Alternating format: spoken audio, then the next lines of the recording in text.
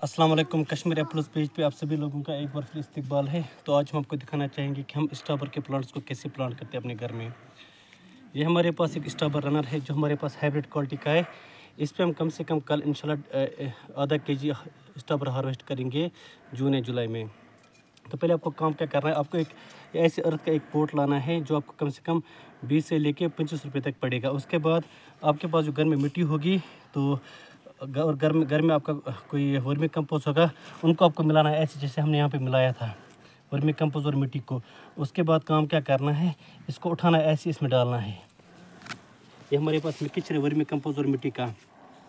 इसके लिए आपको किसी किस्म का कोई अर्थ लैंड नहीं चाहिए, आप इसको घर में स्लीव्स पे कल्टीवेट कर सकते हो।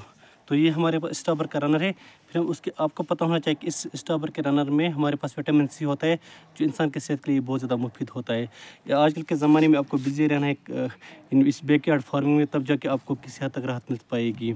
आपको कुछ ना कुछ करना है घर में, आपको बैठना नहीं है घर में, जो आपका लेजर टाइम होता है। उसके बाद ऐसे सेंटर में ऐसे डालना है, फिर और यहाँ से मिट्टी उठानी है, जिसमें वर्मी कंपोज है। ऐसे चारों ओर डालना है, ऐसे बिल्कुल ऐसे डालना है, फिर उसके बाद थोड़ा इसको यहाँ पे हल्का प्रेस यहाँ से ऐसे करना है।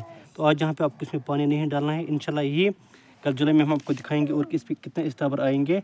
तो लास्ट ईयर पे हमने ये प्रैक्टिस की थी। इस वाले पोर्ट्स में स्टाबर की ज़्यादा कल्टिवेशन होती है। As compare to as compare to open field क्योंकि यहाँ पे जो इनकी जो रूट्स की, जो रूटिंग होती है, वो लिमिटेड यहाँ पे रहती है। और दूसरा यहाँ पे क्या हमने देखा है कि यहाँ पे इस पर सनलाइट भी अच्छी पड़ती है स्लेपस पे और वहाँ पे ज़्यादा इसकी कल्टीवेशन होती है।